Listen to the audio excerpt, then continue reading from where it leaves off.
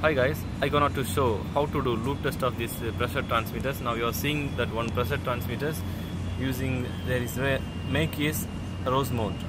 Now to do the loop test you should be know about that ranges of this transmitter. Now there is uh, one nameplate is there. That nameplate mention about that range. Okay, this is our range. So you should be know about that range. So in this there is a two cover is there one is front cover this is a front cover. There is a two switches there. One is simulation switch and another one is security switch. And another one back side is cover is there the back side cover have consists of the terminal power terminal.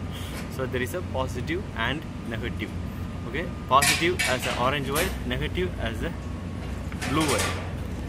So now you are seeing there is a one clip is connected to that power connector. So that is a 475 field communicator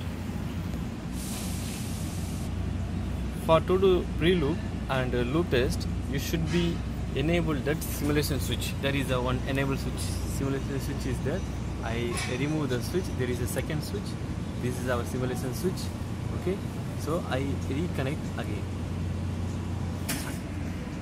When you switch on the communicator there is a showing some menus on this display there is a field bus applications these transmitters the field bus protocol. So we should be enable we should be select that field bus menu as this 470 field communicator. Now it is taking that online mode. It will take some minutes. There is a one warning message will come in this communicator. You select the s. It is a to asking the permit to enter the segment this instrument to connected to one se- segment. There is a lot of instrument is connected. So it is reading the segment how many instrument is connected. These are the these are the instruments has been connected on this segment. So now our tag number is pressure transmitter. So uh, pt462720 as our tag number. Now i select this tag number. You can see the select using the through arrows the communicator. Just click the enter it is taking some minutes to read that all data from the transmitter. When you enter that transmitter data there is showing some blocks. There is a resource block transducer block 1 transducer block 2 transducer block 3 and analog inputs. So our tag number with analog input we should be a, enter this particular analog input to do the loop test. Once you enter that particular analog input there is a showing quick config common config and advanced config and uh, other things IO references and connectors. So to check the range of this transmitter we should be enter that quick config. That is showing some parameters of this transmitter so now you are seeing that there is a range of this transmitter as well as the nameplate the transmitter's nameplate. So there is a 0 to 15 bar is uh, a URV and LRV as well. and come to back and go to that advanced config. Here you are selecting the simulation simulation enable and disable now it is showing the disable mode. Now I put that active. Send the active. Now it is activated.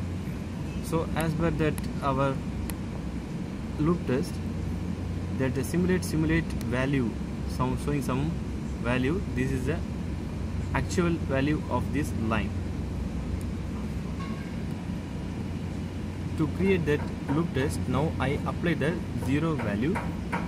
Select 0 click ok. Here automatically 0 will come. Click send.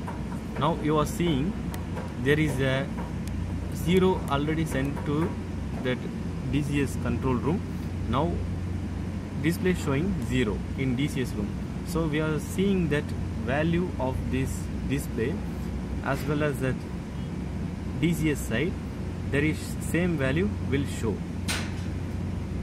in connector section. Come to that back and select that advanced config. Now I applied that for 50 percentage.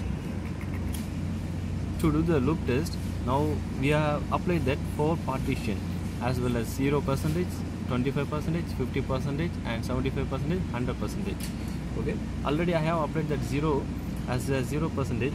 Now i applied that 25 percentage 3.75 okay? Select ok and click the send. Now you can see that value how much you will be received on the DCS side 3.75 as a 25 percentage. Now I want to make that for 50 percentage. It means 7.5 so just enter that your value for 50 percentage. Click ok and click send. Now you can see the display side. They are showing the value as a 7.5 for 50 percentage. For 75 percentage I enter that value in advanced config select the uh, simulation value 11 11.25 as a 75 percentage. Now I enter the value click send. Now it is the value will show in DCS room as a 11.25 or 75 percentage. Now I want to make that 100 percentage enter that 15 this is a maximum range URV means upper range value. I enter the value 15 bar send and come to back go to the connector. That the DCS side will show 15 bar okay. So now I make it over range of this transmitter 15.16 okay? 16 as a over range. Select ok click send you can see that DCS side DCS room or control room there is a 16 bar I want to make the normal go to the 0 select 0 send it is showing that normal come to that automatically comes 0 now go to that simulation deactive mode. Because it will take as a normal also.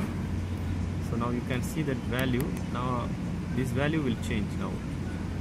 This is the actual line pressure showing.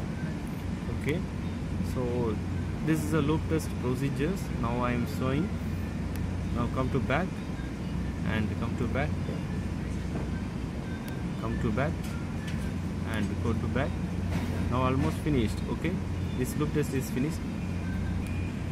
Now I make now I make the back now we have come to that home page. Now I make the switch off this communicator. Switch off the communicator select the power button and click en enter shut down. Now it is uh, shut down. And now you should be disable disconnect that communication and put the back cover now I put the cover here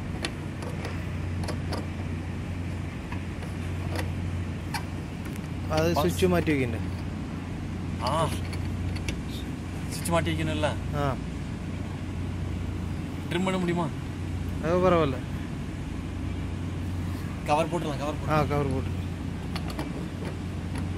ஏன்னா வேறு subscribe பண்ண மாட்டானுங்க. More videos ஒரே ஒரே ஒரே stop பண்ண wait and come to that back side here the back uh, terminal cover. Already we have connected that uh, communicator probe. I disconnect this one and uh, putting the back cover. Closing properly.